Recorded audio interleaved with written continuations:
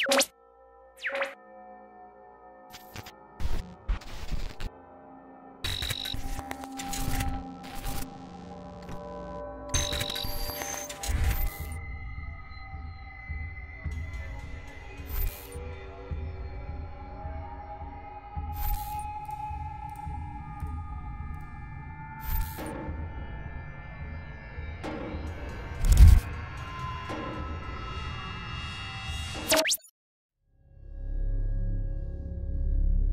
Out of all the shows that I have on the Night Mind channel, I can't deny that the one that gets me the most excited is Night Vision.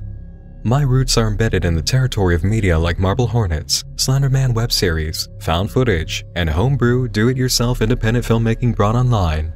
There's a certain kind of incredible that comes from witnessing someone make a truly spectacular project while being just an average person. No degree, no team, no major equipment or impressive resources, no real experience, People who think of an idea, write it out, grab their camera and go, facing an entire world of logic and common sense that says, yeah, it won't be anything special and it won't really be seen but you can try, only to prove all of that wrong and show they were right to hope, to be so bold as to make something and dream for a great outcome. Nothing reminds me more strongly about why I do this than finding new channels I immediately want to make a night vision video about. I cover a lot of material, and I'll confess that as I've gotten into the groove of doing this as my job as well as my passion project, I've often found myself settled into an attitude of seeing so much of what I cover in the vein of business as usual. Finding content like the topic of this episode of Night Vision reminds me that what I do is never just business as usual, that I stand for something. And these people, these creators, are the very reason I exist and will continue to fight in my territory for the recognition and success they deserve. I may not find these reminders of my mission statement all the time, but when I do, it feels like rebirth. And I'll tell you what, I haven't been this excited since the West Records. Now you know I'm serious. I've been getting leads from you guys on Twitter and Tumblr about a channel called Hi, I'm Mary Mary for a while now, and again, this proves to be a case where I really, really need to look into things the moment I get multiple requests in a short time span. Hi, I'm Mary Mary, or HIMM for short, is a series presented in a style that we haven't seen for a while. Straight-laced, linear live-action storytelling by a normal person in a horrifying situation. On July 9th, 2016, the first video was uploaded by the title character, Mary, asking a very simple question. Is there anyone out there? Mary, you see, is desperately in need of some form of communication. She reports that she's trapped in a house, which she woke up in last week with barely any memory of who she is, where she is, or how she got there. There are really only two things that she knows beyond what she can learn from the contents of the house. Her name is Mary, and she believes it's her parents' house, or at the very least, a copy. Some aspects of the house don't feel quite right according to memory. We're shown that Mary cannot get outside at all. The doors will not open, and the windows will not break. No one else has been seen. Her only companion at the moment is a camera, which she's been using to record her stay in this house on the edge of reality. She also has a computer and internet connection, allowing her to use Twitter and, of course, upload. But again, it's as if the entire world has disappeared except for her. No one else can be found on Twitter. No one else can be found online. During daytime in the house, nothing bad occurs. But at night, that's when the house becomes a truly scary place.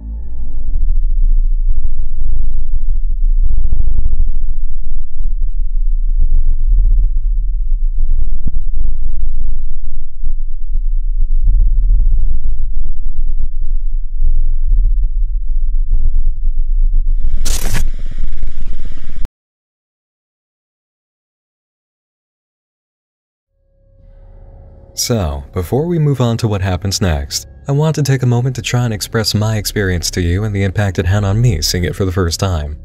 Back during the entire month of August, I worked on the starting phase of how to make a web series, going over so many lessons and concepts I picked up and the insight I've gained seeing series after series after series, and then I delivered the whole bulk of it all at once in September, Every single potential item on a checklist for how to set up a series just got checked off in the very first video for Mary Mary. It's like this series was specifically designed to pass every last challenge I could have thrown at it. Give us a reason the camera is on. Give us a reason footage is being uploaded. Let us know why the situation warrants the camera. Give us a setup interesting enough to make a web series. Give us a character we can empathize with. Give us a reason to want more videos. Every single checkpoint passed. Mary wakes up in a house all alone that seems to exist in a pocket dimension. She can't get out through windows or doors at all, and she has no memory of how she got here or where she is. Okay, awesome. Now we have a cool mystery. She's been left with a camera and a computer hooked up to the internet. Perfect. She's been literally given a method of documentation and a gentle push to use it by her captors, and her situation warrants doing so for practical reasons and psychological reasons. The character has all the push that she needs to be filming and uploading in a situation where we are immediately interested in what's happening and we believe that she would be doing this. Yes, yes, yes. Thank you. On top of all of that, even though she's uploading, she lets us know immediately she's never going to be able to hear us, or at least not for a while until there's a break in the story. Somehow this footage got to us, but it's very much a sort of everyman hybrid situation. One-way mirror type of reality. We cannot interfere with events even if we can see them, so there's no issue of the character having to ignore good advice from the audience, or any of the issues of having an audience for this in the first place. We know the house is paranormal because of the setup, and clearly she's in danger. This is not just a case of something odd. This is a character who has been presented to us as the documenting uploader, with reasons to believe she's documenting and uploading, in a situation where we can empathize with her struggle. And not only do we want to find out how she got here, what the house is, and how she gets out, we need to make sure this person we've just established empathy with survives, because clearly she is also in danger, and the danger is a monster. Oh my god, I cannot believe how many checkpoints this series just passed in the very first episode. And also, can we give some praise early on for two classic tropes being used in new ways? The text that appears is very much a callback to Marble Hornets, but it feels different in its presentation entirely, and it's constantly being messed with as a form of video distortion. You're going to notice going through the series that nearly all the distortion effects used are completely new, I have not seen them before in a Slender series or anything like it, and it gives the series its very own style, character, and intrigue. And before we move on to the next video, let's bring up one more bit of praise. The Twitter account associated with this channel is doing pretty much exactly what a Twitter account for a series like this needs to do, providing supplemental bonus material to the adventure, rather than making it crucial that a viewer watches the videos and follows on Twitter. If you end up using YouTube as a major facet of the storytelling for your linear storytelling series, it really does need to be your main path, with Twitter, Tumblr, Facebook, or any other social media aspect serving bonus material and deeper characterization that is not crucial for YouTube-only viewers. This is a very big lesson for all of you following the blue path and how to make a web series. So let's keep the ball rolling now, because the surprises that come from HIMM just keep getting better and more impressive from a creative and technical standpoint. The next video comes out on July 24th, 2016, and it's titled Dislikeness. Mary says she's beginning to figure out the house and how it works. The first problem you might think of in this situation is food. Mary solves that very quickly, showing us how the moment you remove something from its place, a duplicate arrives. How is that possible? Again, we want to find out. 25 seconds into the second video, and we already have another mystery that makes us want to keep watching. Mary shows a bit of character next, revealing there is running water as the shower is working, saying she won't smell as well as not starving, and we have audio of her singing in the shower. Already she's become quite comfortable with her camera and potential audience, if any exists beyond the lack of reception she perceives on her end. Next, a real mystery add-on for us that makes things freakier. At night, the lights only work sometimes. We have a few scenes of Mary hanging around the house, trying to stay sane and figure out what's happening, followed by a shot of her exploring a bookshelf and letting us know that she's been looking for clues about her identity. A picture of her is found, and then, in a very sudden transition with some distortion, we get a personal comment from Mary. I don't look good in it. I want you to keep in mind what we just saw as we move to the next scene, okay? Mary finds a picture of herself, says she doesn't look good in it, tries to brush that comment aside. We move to Mary in the bathroom washing her hands in front of a mirror cabinet. She's spent a lot of time in these videos so far hiding her face from us, stating that she's a little bit shy, so she's keeping off camera. We get the scene with her finding the picture, not liking it, which gives us a sense of the real reason that she's hiding from us. And then this happens.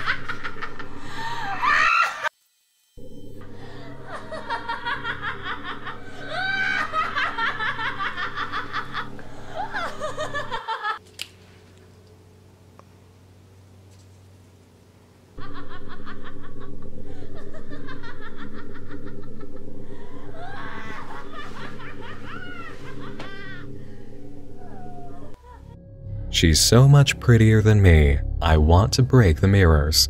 And then the video ends. So right now I'm thinking that half of you appreciated that just as much as I did and maybe the rest of you thought it was hokey or silly. Let me explain why I think this was awesome and flawless. First, I think we can all agree that pulling off the effect for the girl in the mirror was an achievement. I know exactly what this kind of editing involves, and it would have taken some effort to make sure it happened correctly and lined up just right, especially with Mary's timing for reacting to it in post-production. Second, nobody else really ever does this. I think I've seen something like this before in a web series, maybe, but on the whole, never this brazen and in your face before. This is one of those moments where I realize I've been waiting for someone to do this in a series and didn't even consciously think about it. Third, the creator of HIMM pulls off another expert maneuver in beating a challenge I began addressing in How to Make a Web Series but haven't talked about in depth yet. Presenting ordinarily cheesy, tropey things like evil, disembodied laughter, and totally getting away with it. This is one of the only times I have ever fully supported it and can say it works, it's justified, and it was smart to use. Think about it. Mary is trapped in a house removed from reality itself. We can already see this place is going to keep surprising us and is under the power forces that we do not understand. We know it has monsters inside. This is a haunted house attraction that Mary is legitimately stuck in, which means even cheesy, silly things like disembodied evil laughter can and will happen. The way it's coming across, and the way the monster in the mirror is acting, you can tell the forces attacking Mary know this would be silly and dumb under any other circumstance.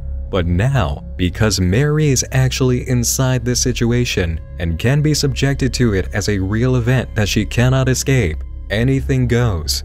It works entirely. And if the camera ended up here because the forces in control put it there, then they want Mary to look like a fool reacting to the type of cheap, silly scares and sound effects you would find in a bad indie horror game. The mirror monster is mockery on the highest level, it knows how bad Mary's self-image is. It knows what she did to her own picture earlier, trimming up her body and cutting off her own head to fix herself. The monster in the mirror is taking the form of a personal demon, laughing at her while showing off everything that she wishes she could be, and enjoying every moment of this silly, cheesy scare having genuine impact on a person who cannot run away from it. It's not silly when it's possible, and it's downright horrifying when it happens. This is a monster that knows exactly how powerful it is right now, it can get away with acting like a form of creepypasta character because its impact is entirely real. And now I'm going to go through one more video with you guys before I let you explore the rest of Mary's house on your own, because you have got to see this. About one month later, Mary uploads the video Goodnight and opens with the statement, I'm exhausted. It appears she's been sleeping during the day, which is confirmed by her next bit of text. I don't sleep at night anymore. In the following scene, we have a really cool bit of editing as Mary plays Put the Lemon in the Basket. The family photo in the lower right corner is experiencing distortion. This can be a statement about what's currently happening to Mary's memory of her family, or it could be the forces of the house doing this to express what they want. Either way, it's a nice touch, and so is the scene of Mary laying on the floor, drawing one of the monsters that she's encountered in the house. She says that she's doing anything to stay occupied, and that includes making a small poster with printed pictures of famous figures named Mary throughout history. She still wants to get some idea of who she is. We're told she sets alarms now to wake up in time for night, watching the sun go down as her version of morning. She never wants to get caught asleep at night ever again, and we're shown why.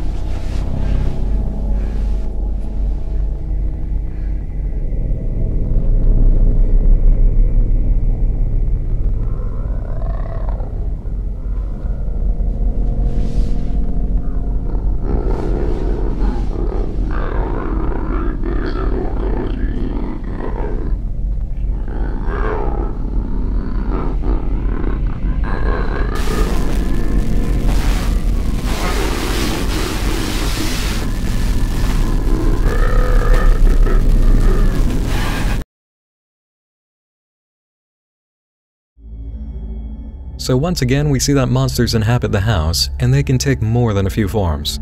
This one seems to be a complete shadow version of Mary, or some form of shadow person. And as before, let's give some praise where praise is due. That effect must have taken so much more effort and time than anybody would realize. I could offer a few limited ideas of how it was done, but it turned out so smoothly in motion, I think the real method used is beyond me. You almost never see stuff like this in web series. It takes a real learning curve to pull that off. In the video description, we find out why Mary took so long to run from this thing when it appeared. Paralyzed with fear, I looked into its face and I felt empty, cold, and numb. I felt dead. I'm so tired. I bet it will only get worse from here. There's no sense in being positive. And it does, in fact, get worse. Or rather, the events in Mary's world get worse. But for us, everything just gets better. Something I've been looking for in a web series for a long time now is an effect that only Marble Hornets, Everyman Hybrid, and Tribe 12 ever really had on me. It's called the potato chip effect. Readers who have had some really awesome books that authors and editors knew how to segment for maximum effect will know it as the one more chapter effect. Either way, same principle.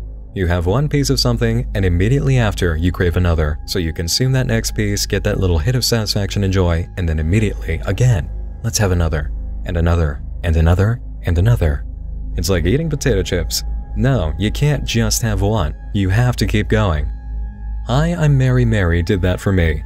This is a series where you can honestly sit down, start from video 1, and just go through it all in one sweep easily, because it compels you to watch another video. You want to see what happens. You need to see what happens. The more things happen, the more mysteries we get, and the more mysteries we get, the more answers we want. And seriously, we just want to see what happens. New, crazy things are happening all the time in this house, and it's consistently fun and exciting to see what takes place. I am blown away at the achievement of this series. One girl, her camera, an empty house, and some post-production effects knowledge. That's all it took. That is all it took to make something this great. It's so simple and so easy, yet look at the results. This is why I keep telling you all in so many of my videos and especially in how to make a web series, you can do this. Does it help to have an awesome camera, a team of friends with skills and resources and locations? Yeah, absolutely if you have those, but you don't need them. This series has given me a feeling I haven't had since the West Records, and reignited feelings that I haven't had since Marble Hornets. This is a winner in every regard in my opinion. I have no idea if you guys are going to love it as much as me, but at this point, I don't even care. I'm so excited to have found something like this. It just rocks. As for what's actually happening in the house and why Mary is here, I have an idea. I'm very certain about the actual concept of the series and its meaning, but I think enough of you are going to get it on your own if you keep watching, and in due time, it will be clear enough to everybody. For now, I'm going to keep my ideas to myself and tell you all this. Please, please, please, please, please, please, please, go subscribe to Hi, I'm Mary Mary and watch it. Please watch this. Sit down and just binge watch it.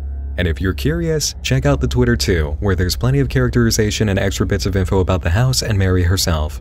This is a gold standard night vision entry, and it reminds me exactly why I started this channel and why I do this. I am so excited to see the development and where it goes. Please, if you feel as good about it as I did watching, come to the comment section here and let me know. Don't let me be all alone in this Mary Mary fan section, okay? That's it for this episode of Night Vision. I feel rejuvenated and inspired. Thanks to all of you for watching and to all of my supporters on Patreon who give me the power to look for more awesome series to cover. Stick around to the end of the video to see the names of all of these wonderful creatures of the night. Thanks for joining me in the dark again this evening. Once more, I'm Nick Nocturne, and I'll be seeing you again real soon. Sleep tight. After you go watch Hi, I'm Mary Mary.